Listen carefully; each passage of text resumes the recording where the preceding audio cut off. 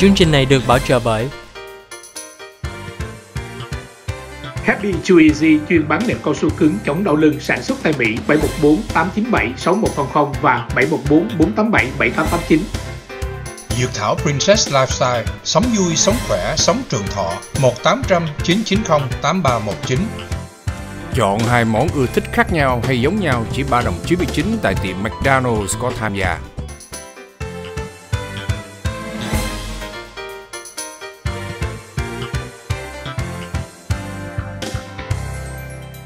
Cảm ơn quý vị với giới làn sóng của Đài Lido Sài Gòn TV trong chương trình Cà phê sáng cuối tuần cùng với Nhiều và Lê Thái. Kính thưa quý vị, à, đối với trong cái cuộc sống hôn nhân gia đình à, vợ và chồng đó thì à, cái vấn đề mà chúng ta muốn chiếm hữu muốn sở hữu một cái người à, cái người mà đầu ấp tay gối với chúng ta thì cái đó chuyện là hầu như là em thấy là hết 80 90 phần trăm người ta muốn sở hữu cái người của mình sở hữu ở đây có nghĩa là không phải là chúng ta sở hữu một cái con vật hay sở hữu một cái vật dụng nào đó mà chúng ta muốn giống như là gọi là người đó là của mình. Không muốn xe cho ai hết. Có ai mà muốn xe vợ xe chồng của mình cho ai đâu đâu nè. Đúng rồi. giống như chị Huyền thì chị Huyền có bao giờ muốn xe không? Không. Dĩ nhiên rồi đâu Dễ có gì? Xe- nếu mà xe là Dễ có gì? chuyện rồi á. Xe là chết với chị Huyền xe là mày chết mày với tao. Có chuyện của bảo Ờ, thật sự là ờ, vấn đề mà chúng ta chia sẻ cái um, cái cuộc sống gia đình của mình người chồng của mình hay người vợ của mình cho một cái người phụ nữ khác hay là cho một người đàn ông khác rất là khó để mà chúng ta có những cái hành động như vậy. Mà em nghĩ là cái thời xưa cái thời mà của vua chúa của ở triều triều đình nhà Việt Nam triều Nguyễn Ồ. triều triều Trần hay nọ hay là của Trung Hoa đó chúng ta xem những cái bộ phim á thì chúng ta thấy có những ông vua năm thê đẩy bảy thiếp là chuyện bình thường. Bình thường. Hay là ở những đất nước mà Ả Rập Saudi ở nước nước Trung Đông thì nó có cho có quyền là có cưới ờ, ờ, bốn người vợ. Nhưng mà thật sự nếu như mà để- mà chúng ta cưới vợ mà chúng ta cưới nhiều như vậy cũng gặp rất lầm. Mà yêu người vợ của chúng ta thì chúng ta mới cưới đúng không? Còn đằng này có một cái người đàn ông thưa quý vị ở Ấn Độ. Anh thì anh yêu cái cô bồ cũ của anh mà lại cưới bà vợ thì cưới bà vợ mới đây là một cái chuyện mà xảy ra nó thấy cũng thú vị nhưng mà thấy cũng dễ thương mà em nghĩ là cái vấn đề này khi mà một cái người mà những cái người mà người ta nghe cái thông tin này thì không ai chấp nhận và người ta cũng thấy cái con người phụ nữ phía bên tay trái thưa quý vị quá cao thượng đi. Đó là ờ, cái đó là cô Vimala thưa quý vị. Biết chồng và bạn gái cũ của chồng á, còn tình cảm với nhau và cô Vimala này đã đồng ý cho cả hai kết hôn và cùng sống chung dưới một ngôi nhà cùng chung gia đình với mình luôn. À, Kính thưa quý vị, Kalian là người đàn ông đó đó và vợ tên là Vimala đều là những cái nhà sáng tạo nội dung ở Tirupati, bang Andhra Pradesh ở Ấn Độ thưa quý vị và cái cặp vợ chồng này rất là nổi tiếng ở cái khu vực này và được nhiều người người ta theo dõi ở trên mạng xã hội như là giống như là YouTube hoặc là ở trên share chat là một cái mạng xã hội ở Ấn Độ.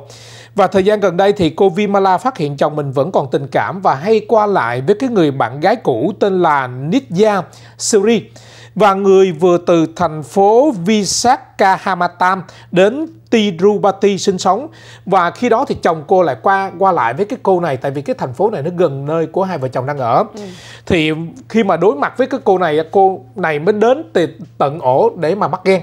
Thì khi mà đến tìm tìm đến tận nơi đó thì thấy người chồng với người ờ, với người bạn gái cũ tại vì anh cũng đã kể cái chuyện mà bạn gái cũ với cô rồi. À ha. thành ra là bà cô bà, bà bà vợ này cũng không có ngạc nhiên khi mà thấy cái người chồng của mình gọi là tình cũ không rượu cũng tới đó nhưng mà đặc biệt thưa quý vị cái cô gái này cô mới nói là cô bày tỏ cái nguyện vọng là xin năn nỉ cái cô cô Vimala này cho được về ở chung với nhau và hỏi là chấp nhận là share với nhau cái người chồng này và có thể chia ra 246 và 357 thưa quý vị. Hai Và tiếng sáu cái- ba năm vậy đó là thái nói phải không? Dạ cái đó là em nói vô đó tại vì thì em nghĩ là nếu như mà hai người sống chung nhau thì chia ngày đó thôi còn thứ bảy chủ nhật thì em không biết. Dạ vâng thì cái cô vợ này thưa quý vị ban đầu thì cô cảm thấy rất là bối rối và bất ngờ. Bởi vì cái lời đề nghị của người phụ nữ này lạ mặt mà cô chưa từng tiếp xúc. Nhưng mà cuối cùng thì cô cũng đồng ý ngay tại cái chỗ mà cô bất an đó luôn. Và thậm chí là cô cũng cũng đồng ý làm một cái lễ đám cưới cho chồng cô và cái người bạn gái cũ. Và đến ngày cái lễ uh, cưới của hai người này và chụp hình như trên màn ảnh quý vị thấy đây là cái đám cưới của vợ chồng của mình. Và cái cô bạn gái đó và Wow. gửi những cái lời chúc mừng đến. Và câu chuyện này nó lan truyền trên mạng xã hội và nhiều người người ta nói rằng á là với xã hội của Ấn Độ người ta chấp nhận đa thê.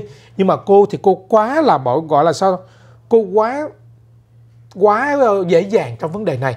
Nhiều người người ta không có chấp nhận điều đó. Và nhiều người người ta phải giống như là người ta phải chấm dứt cái cuộc tình này chấm dứt cái cuộc hôn nhân này. Tại vì người ta cái cái, cái quyền mà sở hữu cái người chồng á, có gọi phải sở hữu không đúng? Có nghĩa là quá yêu rồi không thể nào muốn share cho ai được nhưng Đúng mà cô rồi. chấp nhận điều đó. Thì em nghĩ là cái điều này cũng hay và à, một số người người ta cũng khen cô là cái người phụ nữ nữ này quá dễ thương đi. À, rất là vậy vậy mới là yêu Cao chồng chứ. đấy. cao thượng quá vậy mới là yêu chồng chứ. Vậy mới là một cái người phụ nữ của của năm. Vậy mới là một người phụ nữ lý tưởng này nọ. Thì theo Wow. chị thì thấy cái cô này cổ dễ thương không? Dễ thương em thấy dễ thương. Cao thượng chứ Cao khó thượng. lắm kiếm người như vậy cũng khó lắm ước chi mà tất cả những người phụ nữ đều giống được như cô này thì đàn ông trên thế giới này người ta hạnh phúc biết bao đúng không? Cái đó là chỉ có đàn ông như thái ờ, ao ước thôi quý vị. như thái nói chứ không phải là như thái.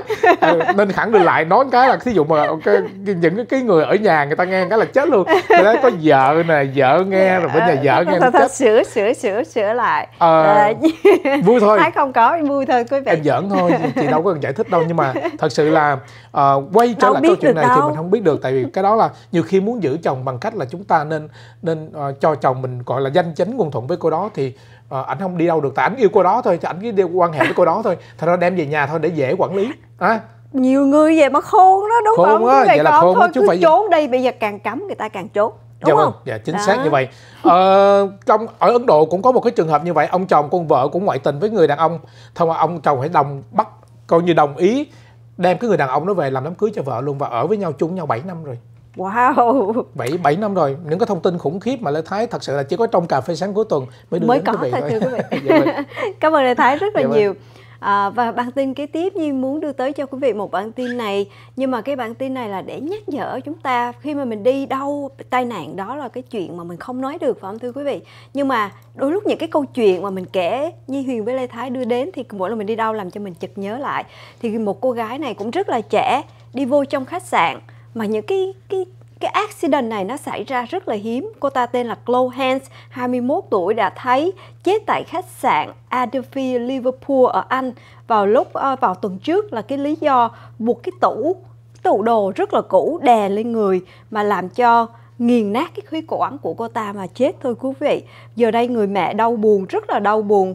Người mẹ là 49 tuổi đã kể về cô Hans này đã bị chết như thế nào và cho biết uh, trong cái bài đăng người ta cho biết rằng là cô Hans này đi uh, làm việc uh, cô ta làm việc tại một khu nghỉ mát Helly ở bên phía tây của xứ Wales nhưng mà cô ta đi qua Liverpool để mà chơi một đêm. Thì trong cái lúc đi chơi về uống rượu say thì cô ta đi vô ở trong phòng khách sạn của mình thật sự là cô ta muốn đi vô cái bathroom, nhưng mà lại mở lộn cái tủ đồ. Nhưng mà cái tủ đồ như thế nào không biết mở như thế nào đó. Tại vì không có camera ở trong phòng nên không thấy, mà cái tủ đồ nó rớt xuống, làm cho cô ta bị ngạt cái khí quản mà chết đi trong, chết ngay trong phòng sáng hôm sau, những người họ đi làm phòng họ mới thấy. Thì bên cạnh đó, tuy là vậy nhưng mà cảnh sát họ vẫn nghi ngờ tại sao. Tại vì cái tủ đồ mà đè xuống chết thì cũng thấy khó tin quá phải không thưa quý vị, mà đôi lúc mà ờ, những cái cô gái trẻ này đi chơi như vậy cũng có xảy ra nhiều chuyện cho nên trong đó có ba người đàn ông 26 tuổi 46 tuổi 49 tuổi có đi chơi với cô gái này đưa cô gái này về phòng thì cũng bị điều tra nhưng mà sau đó họ được đưa đi thì vì từ việc không có cái sự nghi can nào hết. Thì thật sự cái cái cuộc điều tra nó đưa ra cho biết rằng này là cho biết rằng là cô gái này bị cái tủ đè cái khách sạn ở đây cái tủ mà trong cái phòng của cái khách sạn này nó rất là cũ mà cô ta mở ra thì không biết làm sao hết hoặc là xây hoặc là như thế nào đó thì cái tủ nó đè xuống làm ngạt cái tủ và rất là trẻ thưa quý vị. Cho nên khi mà mình đi ở khách sạn mình thấy cái tủ hay là cái gì mình nhớ cẩn thận nghe thưa quý vị. Không có không có cẩn thận gì hết cái này là do đi nhậu rồi kéo tủ rồi ngã đè thôi. Chắc là Ờ. cho nhất là những cô gái trẻ nữa thưa quý vị. Nhiều khi mà khi mà tủ nó đè nó nó làm chấn thương hoặc là mình xỉn quá mình không có đủ lực để mình đẩy ra thì cũng gây đến Dạ. nghẹt thở hoặc là đã tướng. Nhiều khi nó bị nó em đoán thôi nhiều khi là bị ờ, vô vô đầu bị Vô bất tỉnh này nọ dạ. thì nó đè thêm nữa thành ra là không có khả năng để mà tự tự mình cứu mình thành đây là một cái um, một cái thông tin mà cũng là ờ, để mà chúng ta nên cẩn thận hơn khi mà Dạ. chúng ta nhậu xỉn. Ừ. không biết lý do ngày ngày hôm nay như thế nào mà chị Như Huyền tận đưa những cái thông tin là bà này bị bị câu lên rồi chết rồi cô kia bị tủ đè. Cái, cái câu chuyện này là như muốn đưa ra để mình cẩn thận thưa quý vị. Dạ, giỡn tại đôi thôi. lúc mình nhắc nhở đúng không? Lê bởi vậy cho nên nó làm tin giống như Lê Thái với Như Huyền thưa quý vị cũng phải xen tin. Nhiều khi mà chúng tôi cũng phải có những cái thông tin gọi là ờ, gọi là backup cho khi mà khi mà có những cái thông tin nào đó mà chị Như Huyền lỡ mà đưa những thông tin buồn là phải có thông tin mà vui vui rồi. Phía sau rồi đúng không? Và sau đó thông tin vui sau đó thông tin vui quý vị. Nhưng mà th- cũng là một cái thông tin vô cùng ý nghĩa Lê Thái chọc chị Như Huyền thôi. Kính thưa quý vị bản tin vừa rồi đã kết thúc phần 3 cà phê sáng cuối tuần. Như Huyền và Lê Thái xin quý vị hãy giữ màn hình chúng tôi sẽ quay trở lại sau phần quảng cáo những thông tin thương mại bảo trợ cho đài